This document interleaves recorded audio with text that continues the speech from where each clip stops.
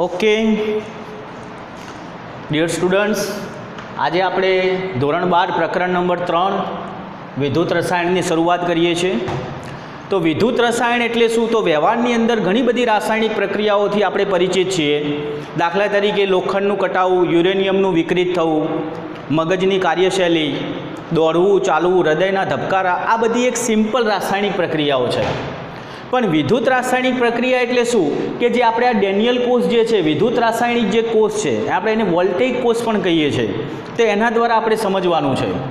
તો અહીંયા જે રાસાયણિક ભરેલું છે, ઝેડએન એસો ફોર અને CU SO four that means કે વિદ્યુત રસાયણનું અથવા તો રાસાયણિક ઉર્જાનું વિદ્યુત ઉર્જાની અંદર રૂપાંતરણ. ફરીથી એકવાર. વિદ્યુત રસાયણ એટલે શું? કે જે અંદર રાસાયણિક કેમિકલ, ઝેડએન એસો ફોર અને સીયુ એસો ફોર રાસાયણિક ઉર્જાનું વિદ્યુત ઉર્જામાં રૂપાંતરણ કરે, એને આપણે કહીશું વિદ્યુત રસાયણ ઊર્જા અથવા વિદ્યુત રાસાયણિક કોષ. ચેપ્ટર દાખલા ઉપર આધારિત છે. થિયરિકલ ઓછું, પણ દાખલા ઉપર વધારે આધારિત છે. તો આપણે એનો અભ્યાસ કરવાનો છે. તો વ્યવહારની અંદર કઈ જગ્યાએ વિદ્યુત રસાયણ જોવા મળે, એક આ પ્રશ્ન પણ થાય. બરાબર? તો વ્યવહારની અંદર વિદ્યુત રસાયણ જે છે એ આપણને આ દાખલા તરીકે ઘડિયાળ છે, તો ઘડિયાળની અંદર જે બટન સેલ છે, એ પણ આ જ ઉપર કાર્ય પદ્ધતિ અથવા તો વિદ્યુત રાસાયણિક કોષ ઉપર કાર્ય કરે. પછી જે પાવર આપણે ટોર્ચની અંદર જે પાવર વાપરીએ છીએ, રિમોટની અંદર જે પાવર વાપરીએ છીએ, તો જે છે એ બધું વિદ્યુત રાસાયણિક કોષ ઉપર આધારિત બધા પ્રોડક્ટ બનેલી છે અથવા કોષ છે, એમ આપણે કહી શકીએ. તો એમાં આપણે પહેલો કોષ ભણવાનો છે, એટલે જેને આપણે ડેનિયલ કોષ કહીએ છીએ. ડેનિયલ કોષ વિદ્યુત રાસાયણિક કોષ આપણે કહીએ છીએ. ઓકે? તો આ જે છે એ ત્રણ ભાગની અંદર આપણે થિયરીને વહેંચી દઈએ છીએ. પહેલો ભાગ છે કાર્ય પદ્ધતિ. પહેલો ભાગ જે છે એ રચના સોરી પહેલો ભાગ છે રચના, આપણે જે પ્રયોગ માટે જે ગોઠવ્યું છે તે. બીજો ભાગ જે છે કાર્ય પદ્ધતિ અને ત્રીજો ભાગ જે છે એ આપણે જોઈશું રાસાયણિક પ્રક્રિયાઓ. ઓકે ચલો. તો પહેલી આપણે ચર્ચા કરીએ છીએ કે એની રચના. પહેલી વાત જે છે એ છે રચના. ઓકે? તો રચનાની અંદર આપણે જે પ્રેક્ટિકલ કરવા માટે, પ્રયોગ કરવા માટે જે આપણે બધું ગોઠવીએ છીએ જે સાધનોની જરૂર પડે છે, એને આપણે રચના કહીએ છીએ. ચલો. તો આપણે જોઈએ તો બે પાત્રની જરૂર પડે છે. આ પાત્ર એ અને આ જે છે, એને કહીશું પાત્ર બી તો બે કોષની જરૂર પડે. પાત્ર એ અને પાત્ર બી બે અલગ અલગ કોષ છે. ચલો. બંને પાત્રની અંદર દ્રાવણ ભરીએ છીએ. તો આના અંદર આપણે ભરીએ છીએ સીયુ ફળનું દ્રાવણ. Copper sulphate. સીયુ ફોરનું દ્રાવણ. એટલે કોપર સલ્ફેટનું આપણે દ્રાવણ ભરી રહ્યા છીએ. ચલો, પાત્ર એની અંદર આપણે ભરી રહ્યા છીએ જેડેનેસો ફોરનું દ્રાવણ, જેને કહીશું ઝીંક સલ્ફેટ. આ ચેપ્ટરની પહેલી જ થિયરી છે, સરસ રીતે ભણો. પાત્ર એની અંદર જેડેનેસો ફોર ઝીંક સલ્ફેટનું દ્રાવણ છે. પાત્ર એની અંદર જેડેનેસો ફોરના દ્રાવણમાં શું મૂકેલું છે? તો ઝીંકની પટ્ટી મૂકેલી છે, જે એનોડ તરીકે વર્તે, ઋણ ધ્રુવ તરીકે. ઓકે જે ઓક્સિડેશન પ્રક્રિયા આપે. પાત્ર બીની અંદર સીયુ એસો ફોરના દ્રાવણમાં કોપરની પટ્ટી મૂકેલી છે, જે કેથોડ તરીકે વર્તે અને રિડક્શન પ્રક્રિયા આપે. હંમેશા વિદ્યાર્થી મિત્રો યાદ રાખજો કે એનોડ જે હોય એ ગુમાવાની વૃત્તિ ધરાવે અને ઓક્સિડેશન પ્રક્રિયા કરે. કેથોડ હોય હંમેશા દ્રાવણમાંથી મેળવવાની વૃત્તિ ધરાવે અને હંમેશા રિડક્શન પ્રક્રિયા આપે. ઓકે? ચલો. હવે એનોડ અને કેથોડ છે, બંનેને તાંબાના તાર મારફતે. આ તાંબાનો તાર છે. એના મારફતે આપણે ગેલ્વેનોમીટર સાથે જોડીએ. કોની સાથે? ગેલ્વેનોમીટર સાથે. હવે ગેલ્વેનોમીટર શું કરે? તો વિદ્યુત પ્રવાહની દિશા બતાવે. શું બતાવે? વિદ્યુત પ્રવાહની દિશા બતાવે. ઓકે? ચલો. હવે આ વચ્ચે જે ઊંધા સી આકારની જે નળી છે, કાચની નળી છે, લખીએ આપણે.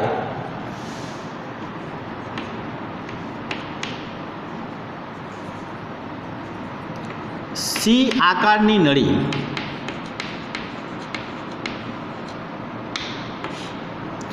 ઊંધા સી આકારની જે નળી છે, એ નળી જે ક્ષાર ક્ષેતુ તરીકે ઓળખાય છે. ક્ષાર ક્ષેતુ, આ રહીએ જે શું કાર્ય કરે? ભૂતકાળની અંદર બોર્ડની પરીક્ષા, એમસીક્યુ, બધી લેવલે બહુ પૂછાયેલું છે કે ક્ષાર ક્ષેતુનું કાર્ય શું? તો ક્ષાર ક્ષેતુ જે છે, એ બંને પાત્રને જોડવાનું કામ કરે. બંને પાત્રને જોડવાનું કામ કરે. જો પાત્ર એ, પાત્ર એને પાત્ર બી બંનેને જોડે છે. બીજું શું કામ કરે? તો બંને પાત્રની અંદર આયનીય વહનશીલતા જાળવે છે. આયનીય સંતુલન જાળવે છે કે એકમાં ધન આયનના વધી જાય, એકમાં ઋણાયનના વધી જાય. ઓકે? ચલો. તો સમજણ પડી ગઈ ક્ષાર ક્ષેત્રનું કાર્ય? હમણાં થિયરી ચલાવીએ છીએ એટલે સમજણ પડશે કે એકચ્યુઅલી એનું કાર્ય વિસ્તૃત કઈ રીતે છે. ઓકે? તો આ જે ચર્ચા કરી, એ ચર્ચા આપણે રચનાની કરી, કે આટલું આપણે ગોઠવ્યું છે.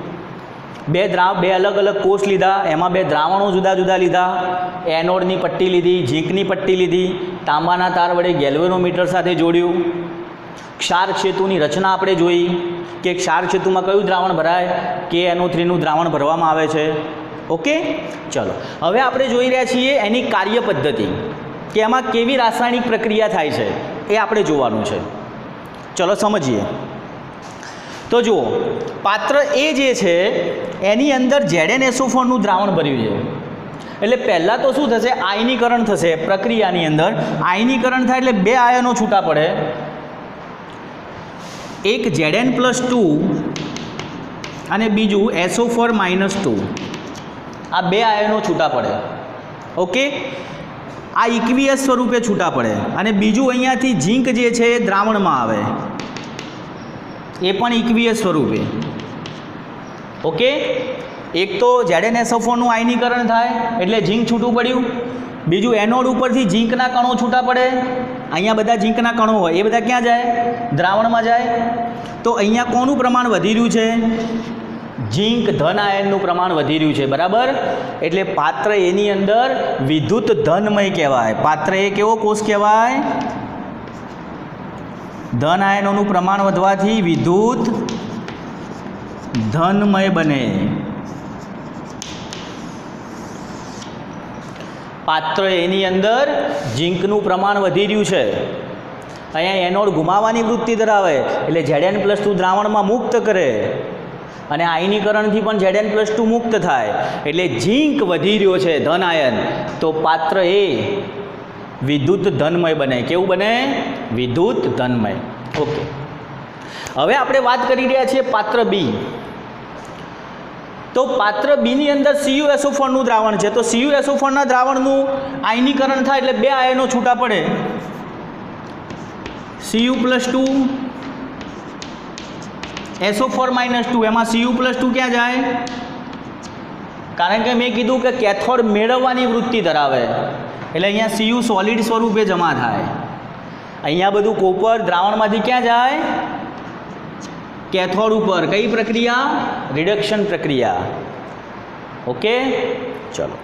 તો હવે અહીંયા વધ્યું શું? બધું કોપર અહીંયા જતું રહે તો શું વધ્યું? એસો ફોર માઇનસ ટુ એટલે અહીંયા એસો ફોર બાકી રહે એટલે આ જે પાત્ર બી છે, એને શું કહેવાય? ઋણ વિદ્યુતમય બને. કેવું બને? ઋણ વિદ્યુતમય. સમજણ પડી ગઈ? એક ધન વિદ્યુતમય એક ઋણ વિદ્યુતમય. હવે ક્ષાર કાર્ય આવે. ક્ષાર શું કરશે?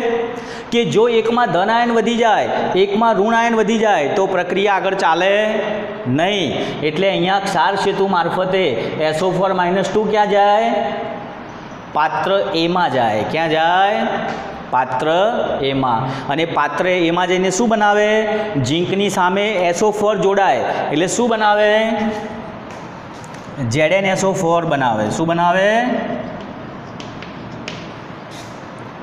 જેડેન એસો ફોર બનાવે. ઓકે?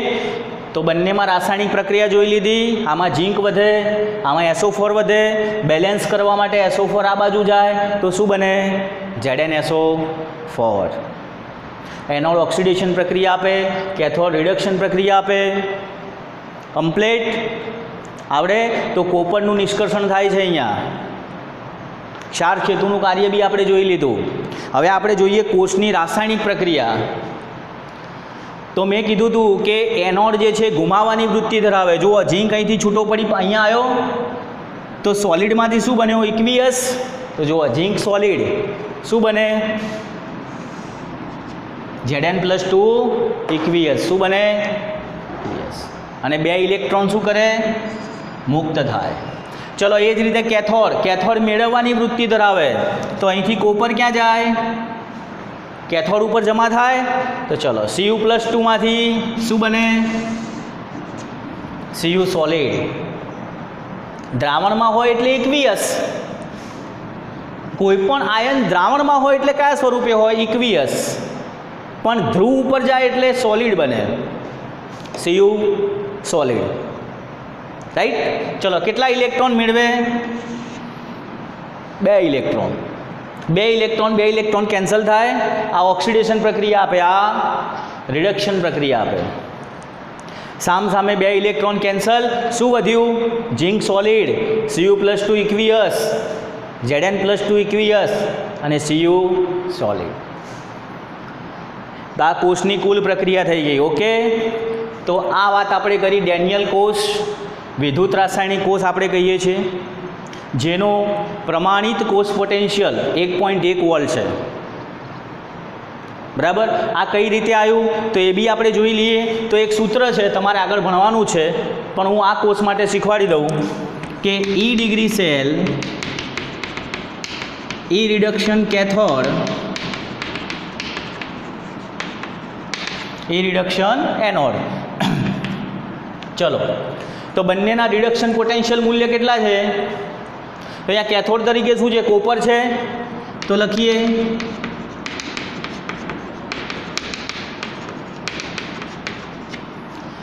કેથોડ તરીકે કોપર છે, તો સીયુ પ્લસ ટુમાંથી સીયુ એનોડ તરીકે ઝીંક છે. ચલો, આનું રિડક્શન પોટેન્શિયલ મૂલ્ય કેટલું? પોઈન્ટ ચોત્રીસ. આનું કેટલું? માઇનસ ઝીરો પોઈન્ટ છોતેર. ઝીરો પોઈન્ટ ચોત્રીસ પ્લસ જીરો પોઈન્ટ છોતેર. એક પોઈન્ટ દસ વોલ્ટ. કેટલું? એક પોઈન્ટ હવે આ મૂલ્ય ક્યાંથી આવ્યું? સ્વાભાવિક છે એક પ્રશ્ન થાય કે સર, આ રિડક્શન પોટેન્શિયલ મૂલ્ય ક્યાંથી આવ્યું? તો આપણી જે આ બુક છે વિદ્યુત રાસાયણનું જે ચેપ્ટર છે, એની અંદર બધા જ પોટેન્શિયલ મૂલ્ય આપેલા છે. બરાબર? પણ આ દાખલા સમય આવશે, આગળ આપણે જઈશું, ત્યારે વિસ્તૃત ભણીશું.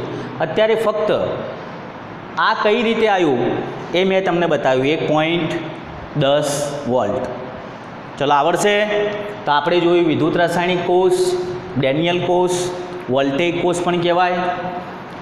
એમાં થતી રાસાયણિક પ્રક્રિયા જોઈ. પ્રમાણિત કોષ, જે ડેનિયલ કોષ છે એનો વોલ્ટેજ એક પોઈન્ટ દસ ક્યાંથી આવ્યો, એ પણ આપણે જોઈ લીધું. ઓકે ચલો, હવે આગળ વધીએ છીએ.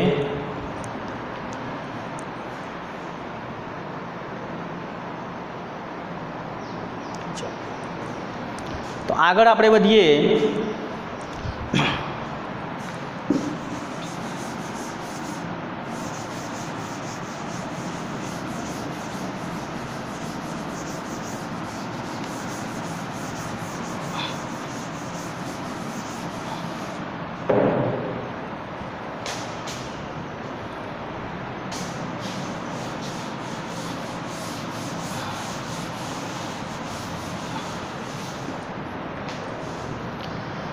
તો આપણે જોવું છે કે કોષનું સાંકેતિક નિરૂપણ.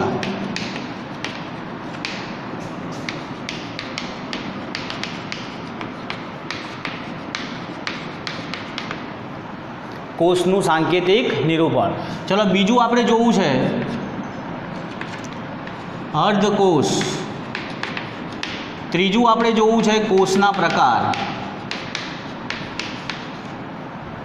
કોષના પ્રકાર ચલો તો પહેલાં આપણે વાત કરીએ કોષનું સાંકેતિક નિરૂપણ. તો કોષનું સાંકેતિક નિરૂપણ કઈ રીતે કરવું? વિદ્યુત રાસાયણિક કોષનું સાંકેતિક નિરૂપણ. ચલો આ એક અર્ધકોષ છે, આ બીજો અર્ધકોષ છે. કયું દ્રાવણ છે?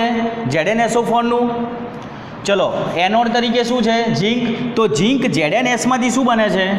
ZN aqueous. તો આપણે લખીએ પહેલાં કે ઝીંક સોલિડમાંથી શું બન્યું? જેડએન પ્લસ ટુ ઇક્વિયસ કયો વીજભાર? માઇનસ ચલો માઇનસ વીજભાર. ચલો વચ્ચે શું? ક્ષાર ક્ષેતુ. તો એને બે ઊભા લીટા વડે બતાવીએ છીએ. રેડી ચલો આ બાજુ કોપર રાઈટ તો કોપરમાં શું બન્યું? સીયુ પ્લસ ટુમાંથી સીયુ સોલિડ તો અહીંયા લખીએ સીયુ પ્લસ ટુમાંથી સી યુ સોલિડ રાઈટ સમજણ પડી ગઈ? પહેલાં પાત્ર એની અંદર શું છે? એનોડ છે. એમાં ઝીંક સોલિડમાંથી શું બન્યું? જેડએન પ્લસ ટુ બન્યું. માઇનસ ચિહ્ન એનોડ. આ પહેલો અર્ધકોષ. વચ્ચે એક શાર્ક સેતુ બતાવવો પડે, બે ઊભી લાઈન. વચ્ચે એક શાર્ક સેતુ બે ઊભી લાઈને, એક શાર્ક સેતુ છે. બીજામાં શું બન્યું? સીયુ પ્લસ ટુમાંથી સીયુ સોલિડ બન્યું? ચલો સીયુ પ્લસ ટુમાંથી સીયુ સોલિડ કેવું? Plus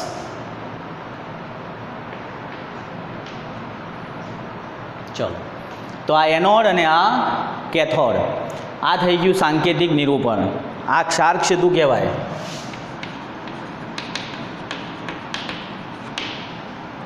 okay? સમજણ પડી? આવડશે? પછી ગમે તે હોય, તમારે ઝીંક ઝીંક અને કોપરની જગ્યાએ બીજું ગમે તે દ્રાવણ ભરેલું હોય, તો પણ તમે બતાવી શકો. રાઈટ તો આ થઈ ગયું કોષનું સાંકેતિક નિરૂપણ. ઝેડએનમાંથી ઝેડએન પ્લસ ટુ બને છે અને સીયુ પ્લસ ટુમાંથી સીયુ બને. વચ્ચે મૂકી દીધો ક્ષાર સેતુ હવે હું ગમે તે એક ટુકડાને બહાર લઈ લઉં. આ થઈ ગયું સાંકેતિક નિરૂપણ.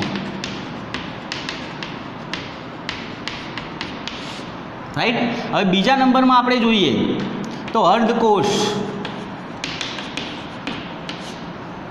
અર્ધકોષ તો અહીંયા બે અર્ધકોષ છે. અર્ધકોષની વ્યાખ્યા શું થાય?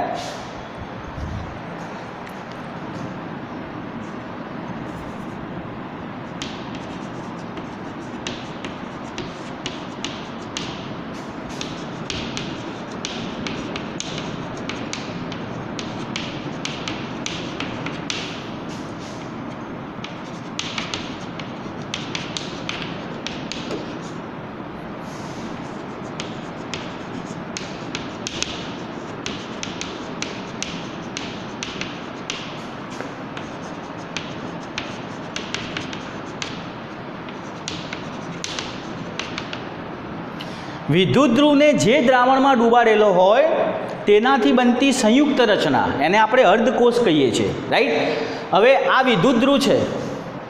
કયો? ઝીંક. ઝીંકની પટ્ટી એટલે વિદ્યુત ધ્રુવ એને ઝેડએન ફોનના દ્રાવણમાં ડૂબાડેલું છે. તો આ એક અર્ધકોષ થઈ ગયો. બીજો અર્ધકોષ, કોપરની પટ્ટી અને સીયુએસઓ ફોનના દ્રાવણમાં ડૂબાડેલું છે. તો આ બીજો અર્ધકોષ થઈ ગયો. તો હું દર્શાવું કઈ રીતે? જુઓ. બે અર્ધકોષ. પહેલો કયો? પહેલો અર્ધકોષ કયો? એક ઝીંક સોલિડમાંથી ઝેડએન પ્લસ ટુ આ એક અર્ધકોષ થઈ ગયો. આ દ્રાવણ માટે ઝેડએન એસોફોના દ્રાવણમાં ઝીંકની પટ્ટી છે. પણ શું કરે છે? ઝેડએન પ્લસ ટુ આયનો મુક્ત કરે છે. એટલે એનોડની પ્રક્રિયા છે, ઓક્સિડેશન પ્રક્રિયા છે. એટલે ઝેડએનમાંથી શું બન્યું? ઝેડએન પ્લસ ટુ બન્યું? તો આ બતાવ્યું. ઝેડએનમાંથી ઝેડએન પ્લસ ટુ માઇનસ તો આ એક અર્ધકોષ થઈ ગયો. શું થઈ ગયું? એક અર્ધકોષ. તો બીજો કયો સામે? આ રહ્યો. આમાં શું બને છે? સીયુ પ્લસ ટુમાંથી સીયુ બને છે? ચલો, તો બીજો લખીએ. સીયુ પ્લસ ટુમાંથી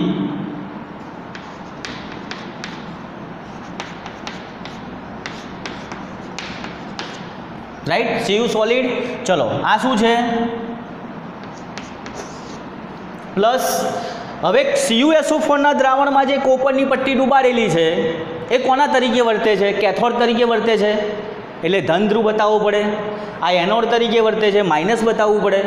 ચલો સીયુ પ્લસ ટુમાંથી શું બન્યું? સીયુ બન્યું. તો આ બીજો અર્ધકોષ. રાઈટ તો વિદ્યુત રાસાયણિક કોષની અંદર બે અર્ધકોષ હોય. આ એક અર્ધકોષ, આ બીજો અર્ધકોષ. અને વચ્ચે શું હોય? ક્ષાર સેતુ શું હોય? ક્ષાર સેતુ ચલો આ એક અર્ધકોષ, આ બીજો અર્ધકોષ, વચ્ચે શું છે? ક્ષારક સેતુ રેડી તો ચલો, સાંકેતિક નિરૂપણ પૂરું, અર્ધકોષ પૂરો, ચલો, કોષના પ્રકાર રે આવે શું બાકી રહ્યું? કોષના પ્રકાર.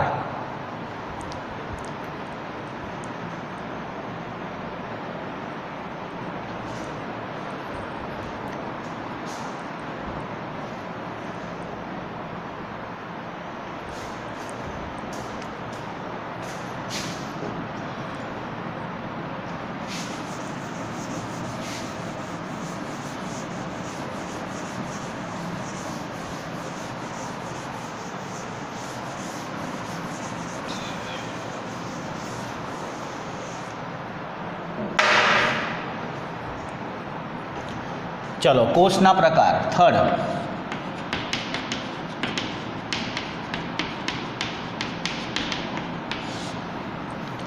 કોષના પ્રકારો સોરી વિદ્યુત ધ્રુવના પ્રકારો વિદ્યુત ધ્રુવના પ્રકારો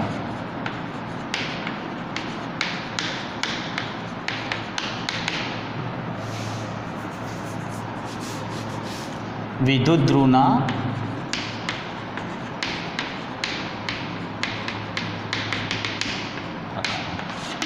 ઓકે? તેમાં પહેલો આપણે જોઈએ છે સક્રિય વિદ્યુત ધ્રુવ.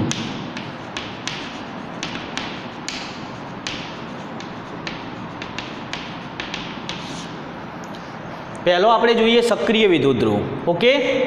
તો સક્રિય વિદ્યુત ધ્રુવ એટલે શું? કે મોટા ભાગની ધાતુઓ મોટા ભાગની ધાતુઓ કે જેની સપાટી કે જેની સપાટી પર ઓક્સિડેશન કે રિડક્શન પ્રક્રિયાઓ થાય. અને પ્રક્રિયાઓ થાય અને રાસાયણિક પ્રક્રિયામાં રાસાયણિક પ્રક્રિયામાં ભાગ લે. તેને સક્રિય વિદ્યુત કહે છે.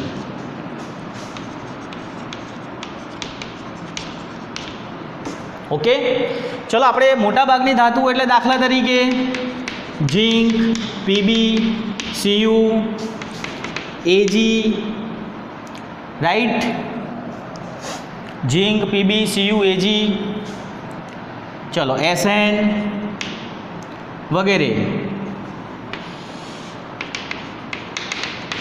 ચલો. તો આપણે જોઈએ કે કાં તો એનોડ તરીકે વપરે, વપરાય. કાં તો કાં તો એનોડ તરીકે વપરાય. કાં તો કેથોડ તરીકે. રાઈટ? કાં તો ઓક્સિડેશન પ્રક્રિયા આપે કાં તો રિડક્શન પ્રક્રિયા. બરાબર? એટલે એની સપાટી ઉપર ઓક્સિડેશન રિડક્શન પ્રક્રિયા તો થાય જ, પણ દ્રાવણની અંદર મુક્ત કરે કાં તો મેળવે. દ્રાવણમાં મુક્ત કરે કાં તો મેળવે. દાખલા તરીકે અહીંયા આપણે લીધું ઝીંક અને અહીંયા લીધું કોપર. બરાબર? તો અહીંયા Z N plus two cell છે, તો અંદર જાય તો ઝેડ એન પ્લસ ટુ. બરાબર? દ્રાવણમાં મુક્ત થાય તો અહીંયાથી કેથોડ તરફ જશે. બરાબર? એટલે મુક્ત કરવાની, ગુમાવવાની યા મેળવવાની વૃત્તિ ધરાવે. દ્રાવણમાં સક્રિય. દ્રાવણમાં કેવું હોય? સક્રિય હોય. તો મોટાભાગની ધાતુઓ જેની સપાટી ઉપર ઓક્સિડેશન રિડક્શન પ્રક્રિયાઓ થાય અને રાસાયણિક પ્રક્રિયામાં ભાગ લે તેને સક્રિય વિદ્યુતધ્રુવ કહેવાય. દાખલા તરીકે મોટાભાગની ધાતુઓ. દાખલા તરીકે મેં ઝીંક લીધું, તો ઝીંક જે છે દ્રાવણમાં મુક્ત કરે, તો ઝેડ એન પ્લસ ટુ. તો અહીંયા કેથોડમાં કોપર છે, તો કોપર અહીંયા નિક્ષેપિત પણ થાય. બરાબર? એટલે એની સપાટી ઉપર ઓક્સિડેશન રિડક્શન પ્રક્રિયા પણ થાય અને દ્રાવણની અંદર ભાગ પણ લે. કાં તો મુક્ત કરે, કાં તો દ્રાવણમાંથી મેળવે. એને કહેવાય સક્રિય વિદ્યુત ઓકે? સમજણ પડી? ચલો બીજા નંબરમાં નિષ્ક્રિય વિદ્યુત ધ્રુવ.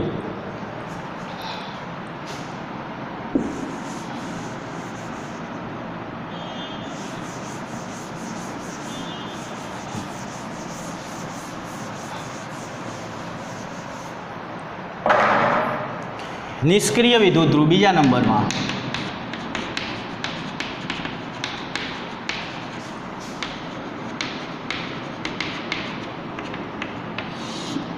રાઈટ તો એવા ધાતુના ધ્રુવો એવા ધાતુના ધ્રુવો કે જે, એવા ધાતુના વિદ્યુત કે જે જે દ્રાવણની પ્રક્રિયામાં, રાસાયણિક પ્રક્રિયામાં ભાગ લેતા નથી.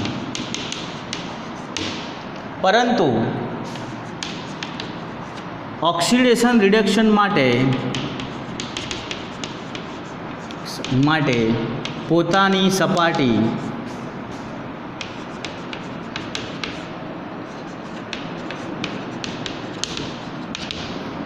પૂરી પાડે છે. નિષ્ક્રિય વિદ્યુત ધ્રુવ એટલે શું? કે એની ઉપર ઓક્સિડેશન રિડક્શન પ્રક્રિયા થાય, પણ દ્રાવણની અંદર સક્રિય હોતા નથી.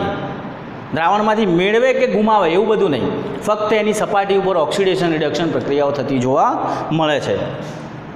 આપણે લખીએ એના માટે, અથવા દોરી લઈએ. તો એમાં દાખલા તરીકે, પ્લેટિનિયમની પટ્ટી.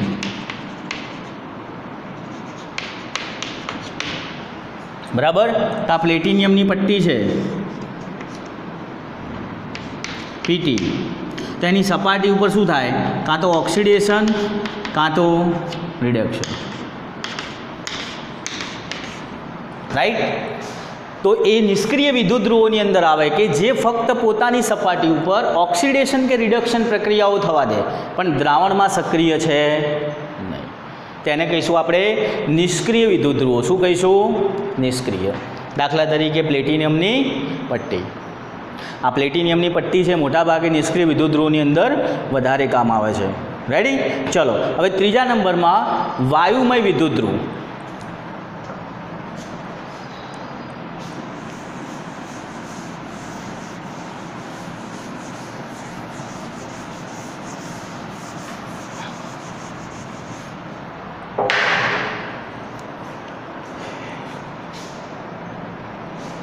ચલો તો વાયુમય વિદ્યુત ધ્રુવની આપણે વાત કરીએ થર્ડ નંબર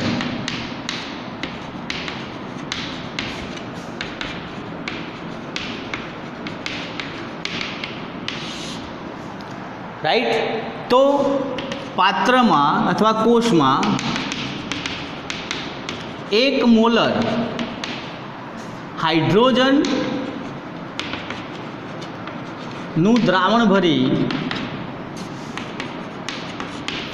દ્રાવણ ભરી તેમાં તેમાં પ્લેટિનિયમની પટ્ટી, ઢોળ ચડાવેલી પટ્ટી મૂકતા, પટ્ટી મૂકી એચ ટુ વાયુ પસાર કરતા પસાર કરતા, પ્રમાણિત વાયુમય વિદ્યુત ધ્રુવ મળે છે.